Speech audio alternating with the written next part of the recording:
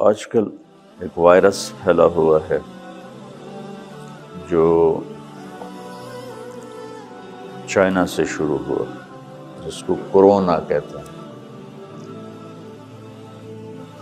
وہ اتنی تیزی سے پھیلی ہے کہ چائنا کے ساتھ آمد و رفت بند ہو گئی ہے، کاروبار بند ہو گیا ہے، لیکن پھر بھی وہ پھیل گئی ہے۔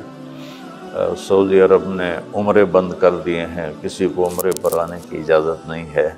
پاکستان میں بھی اس کا خوف پھیلا ہوا ہے۔ تو ہمارے نبی فرماتے لا عدوہ فی الاسلام۔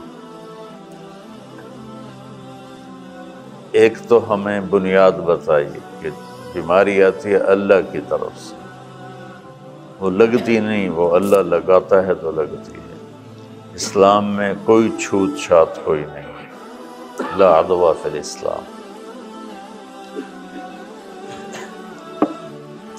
دوسرا، زندگی موت اللہ کے ہاتھ میں.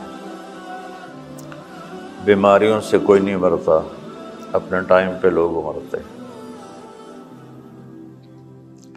صحت مند بیٹھے بیٹھے، مجھے کل ملا وہ صدیق بھائی کا بیٹا، سبزی والا، صدیق تھا چوک، فوت ہو کہ وہ بیٹھا ہوا باپ میرا خبریں دیکھ رہا تھا اور ایک دم یوں ہوا تو ہم نے دیکھا تو مرا پڑا تھا۔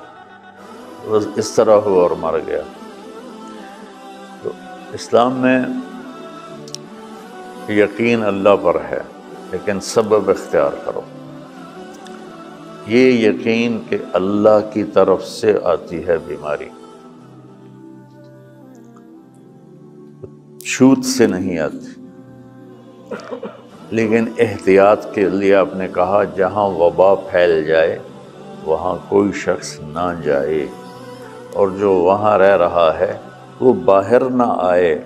سبحان اللہ، کتنا بیلنس کر لیا ایک تو یقین ٹھیک کیا اللہ ادوا فی الاسلام۔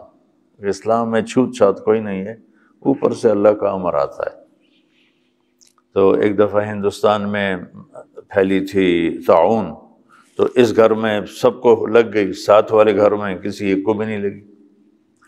پھر دو گھر چھوڑ کے اس گھر میں لگ گئی اور اس کے بالکل برابر والے میں کسی ایک کو نہیں لگی۔ تو یہ میں ریکارڈ کرا رہا ہوں پورے اپنے سامعین جو سنیں گے ان کی تسلی کے لیے کہ ہمارا تو لا الہ الا اللہ پر ایمان ہے۔ کہ ما شاء اللہ کان وما لم یشا لم یقن بلا تقدم ولا تأخر ولا تبدیل ولا تغیر ہم تو اس کے قائل ہیں کہ اس کی چاہت پوری ہوتی ہے۔ ما شاء اللہ کان کا ما شاء کان فی الوقت الذي شاء کان علی الوجہ الذي شاء کان وما لم یشا لم یکن۔ کہ اللہ جو چاہتا ہے، جب چاہتا ہے، جیسے چاہتا ہے، جس کے بارے میں چاہتا ہے، کر کے دکھا دیتا ہے۔ اور نہیں چاہتا تو نہیں ہوتا۔